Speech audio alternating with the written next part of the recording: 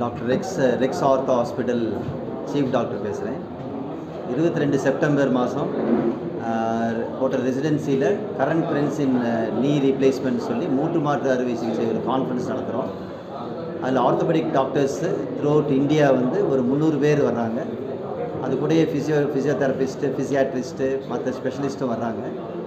இது முக்கிய காரணம் என்னென்னாங்க இது வந்து ஆர்த்தோபெடிக் டாக்டர்ஸ்க்கு அப்டேட்ஸுக்கு லேட்டஸ்ட்டாக ரொபோட்டிக் சர்ஜரியில் எப்படி மூட்டு மாற்று அறுவை சிகிச்சை பண்ணுறது மூட்டு மா முழு மூட்டு மாற்று மாற்றினா போதுமா? இல்லாட்டி பகுதி மூட்டு மாற்று அறுவை சிகிச்சை இருந்தால் போதுமா?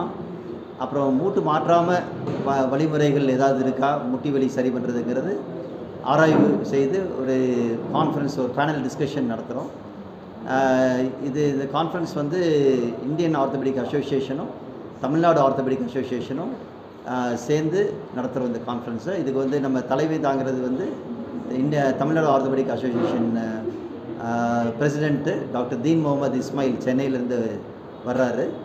Um, இதில் முக்கிய முக்கியமானது வந்து ஜூனியர் டாக்டர்ஸ்க்கும் ட்ரைனிங் கொடுக்குற வகையில் ஒர்க் uh, ஷாப் நடத்துகிறோம் அப்புறம் லைவ் சர்ஜரிஸ் அதாவது எப்படி மூட்டு மாறு வச்சு ரொபோட்டிக்ஸ் முறையில் பண்ணுறதுங்கிற முறையிலும் ஆர்த்தோபெடிக் டாக்டர்ஸ்க்குள்ள கொஸ்டின் அண்ட் ஆன்சர்ஸ் என்னது ஏதாவது சந்தேகங்கள் இருந்தால் தீர்க்கிறதுக்கும் for is knowledge sharing platform மாதிரி யூஸ் ஆகும். ஸோ இதனால் நிறைய ப பப்ளிக் வந்து இப்போ லேட்டஸ்ட்டு டெக்னாலஜிஸு இல்லை மாத்திரையெல்லாம் மாத்திரையில் எப்படி மூட்டு முட்டு சரி பண்ணுறது இன்ஜெக்ஷன் மூலமாக சரி பண்ண முடியுமா இல்லை கட்டாயம் சர்ஜரி தான் பண்ணுமா சர்ஜரி பண்ணால் எது பெஸ்ட்டு எது மினிமம் அதே மாதிரி எது இன்றைக்கி டெக்னாலஜியில் எது நல்லதுங்கிறது எல்லாமே பற்றி பப்ளிக் அவேர்னஸ் பண்ணுறதுக்காக இந்த ப்ரோக்ராம் நடத்துகிறோம் தேங்க்யூ நன்றி.